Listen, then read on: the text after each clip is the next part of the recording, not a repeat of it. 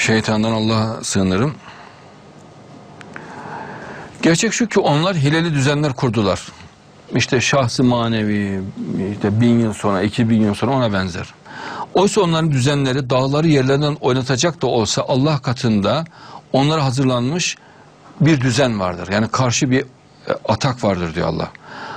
Allah Allah'ı sakın elçilerine verdiği sözden dönen sanma. Yani İslam hakim olacak dediyse Allah mutlaka olur diyor Allah. İttihat İslam sözü verdiyse mutlaka olur diyor. Gerçekten Allah azizdir, intikam sahibidir. Yerin başka bir yere, göklerin de başka göklere dönüştürüldüğü gün onlar tek olan, kahhar olan Allah'ın huzuruna çıkarılacaklardır.